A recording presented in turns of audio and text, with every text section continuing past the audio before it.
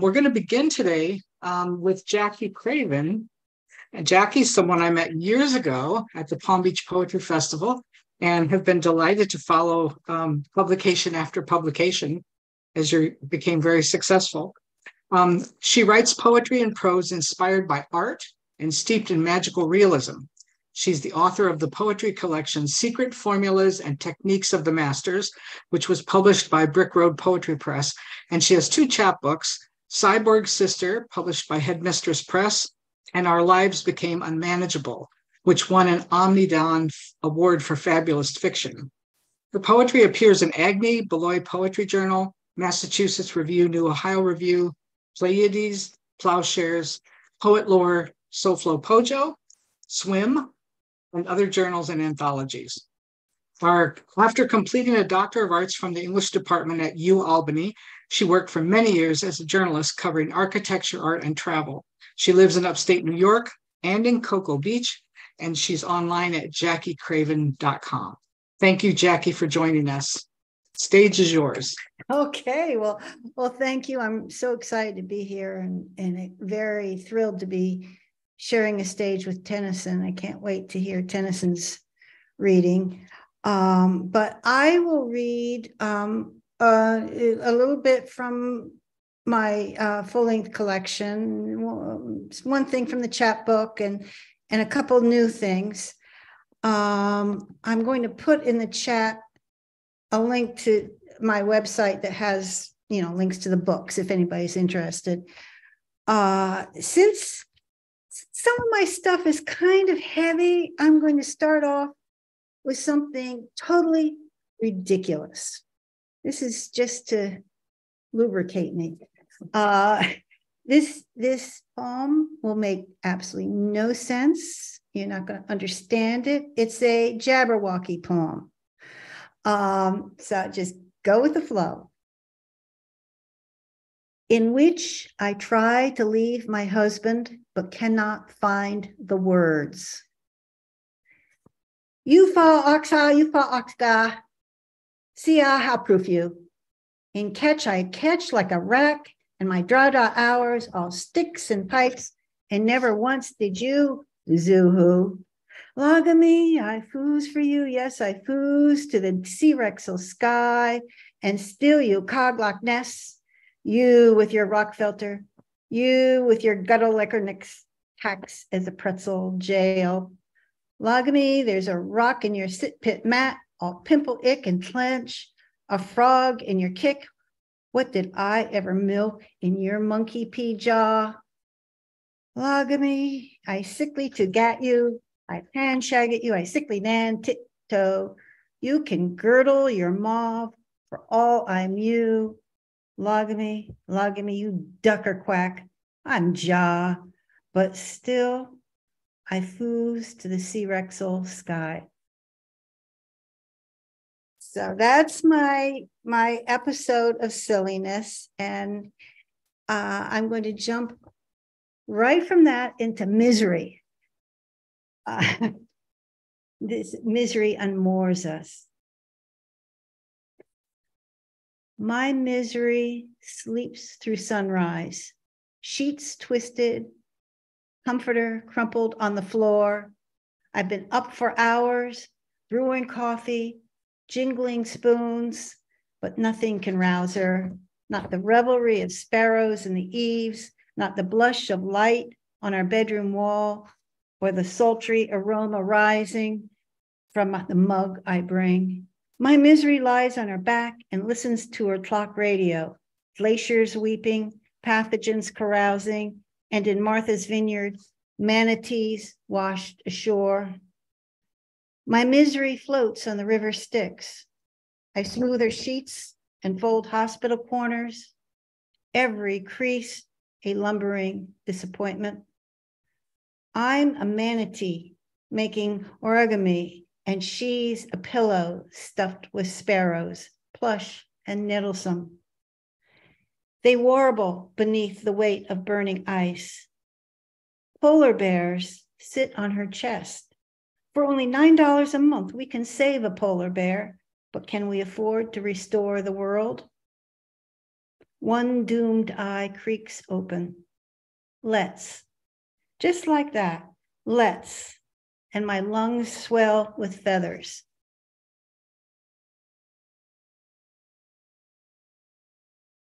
Okay, I I'm going to read uh, several poems from Secret Formulas and Techniques of the Masters, which I mostly wrote in Florida when I was staying down in Cocoa Beach. Uh, I grew up in a family of artists, and my mother was rather eccentric, and she was a person with many secrets. So after she died, and I was packing up her things, I studied her paintings as an adult and tried to unravel some of her secrets by studying her artwork. And some of these poems are ekphrastic poems, and some are family poems. Uh, it's a mix, uh, but basically, it's a collection of poems about a writer who who searches for messages in in paintings. Uh, Old woman with goose, 30 by 24, oil. When I was a swirling minnow, my mother filled this canvas with loam and olives, layer after layer of brown aromas. She must have felt queasy, perched on her artist stool, swooping her palette knife side to side, while I swam inside her. I, I learned to walk on land and saw how she glazed buff over blue, dusk over amber, colors stroked on, scraped away. She couldn't make the paint behave. She wanted a Rubens scene like the one that inspired Yeats wings, thighs, a shudder in the loins. But the tossing truth of me moving, growing, seasickness, and a smell of pea and turpentine, and her and the strange heart beating beneath her ribs. Instead of Leda, she painted an angry crone, gnarled fingers grasping a blur of white feathers. I believe she'd like to wring the bird's neck. Those fierce eyes follow me across the room.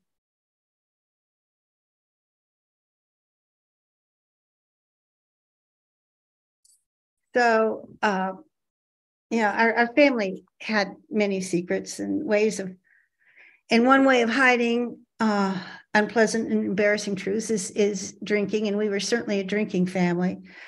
Uh, alcohol played a huge role in the family dynamics, and it also became a kind of metaphor for, for the poems as, as you go through the book. And the title, Secret Formulas and Techniques of the Master, is very similar to the title of a classic uh, book that came out in the 1930s. And it became sort of famous in the art world uh, during the 40s and 50s. The author of that book whose name was Jacques Maroger, claimed to have re- rediscovered the long lost formula used by uh, old Dutch masters to bring trompe l'oeil realism, fool the eye realism to the paintings. And, and this, this formula, it was like a gel like substance. It looked like honey. And the artist would mix it in the paint and it would allow them to glaze colors over in a nearly transparent sheen. So my mother was an enormous fan of this, and she started making these recipes in in her kitchen. And of course it was highly highly toxic. It was made with lead and various chemicals. Um, and so when i was a kid growing up we had these toxic fumes billowing from the kitchen, which in itself became a kind of metaphor um, for what can happen in a in a sort of a dysfunctional family. But uh, the the secret formula, as the actual secret formula that um, Jacques Maroger had written about, and then the secret form formula of the alcohol together became the sustaining metaphor through through the book.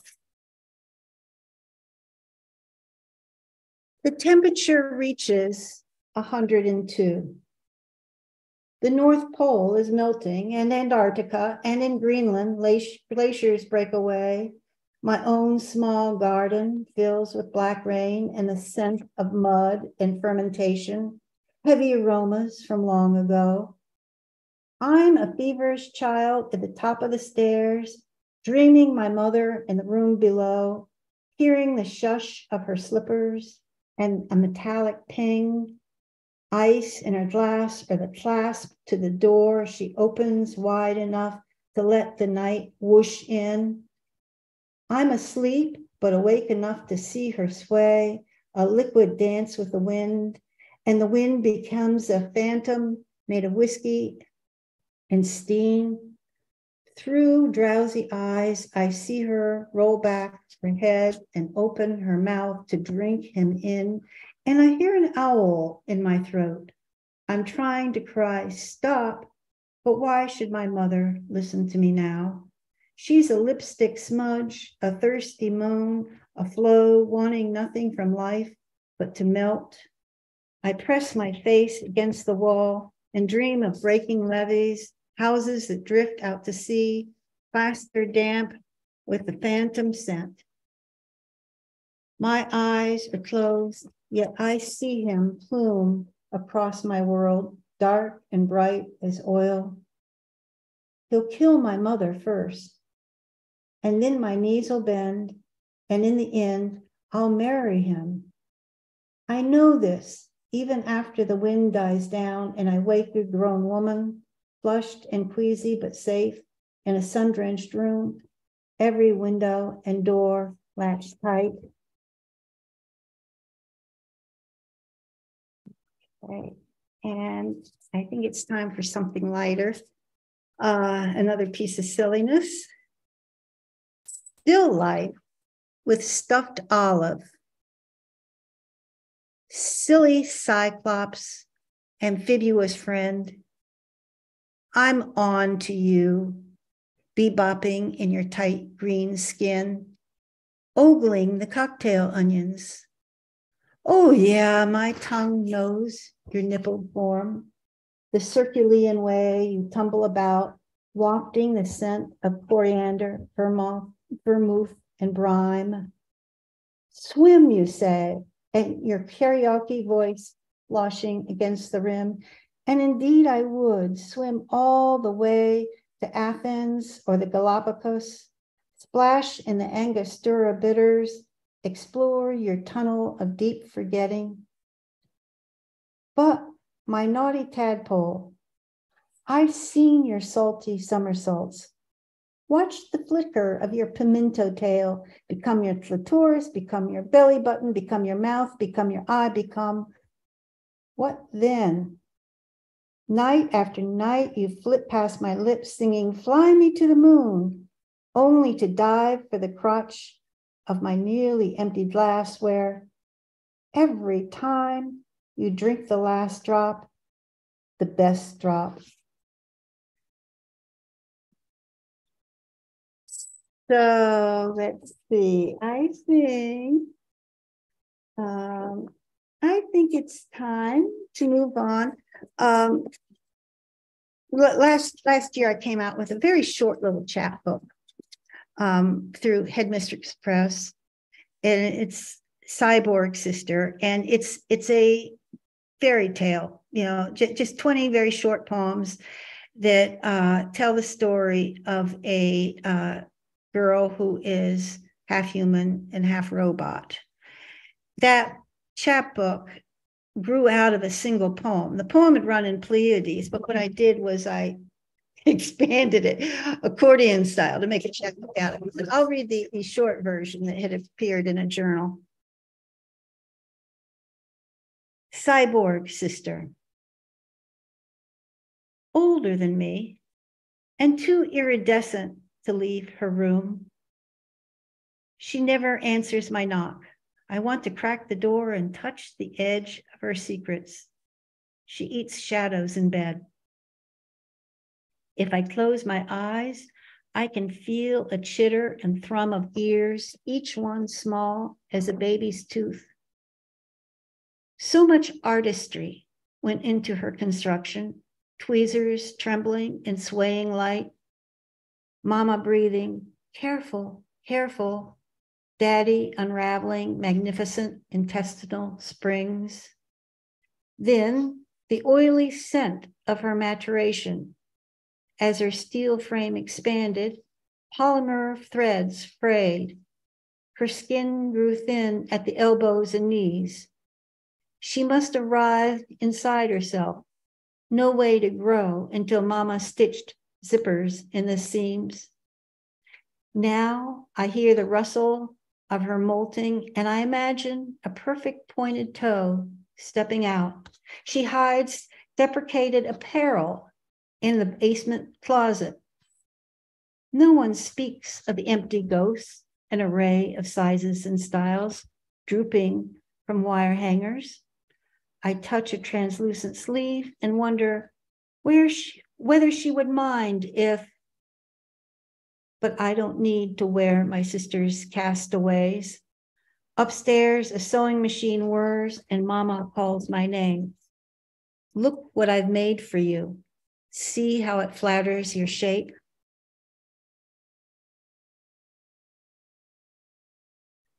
Okay, I um, I am working on uh, a collection. I've been working on it for a couple of years now, and it hasn't found a home yet. But I'm homing in on. I think I think it may have a home soon.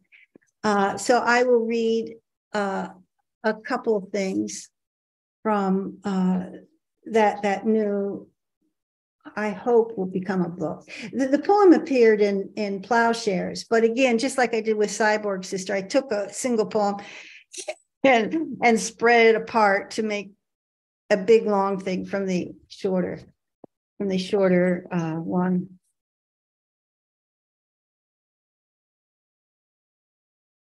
Just for once, I want to witness the going away.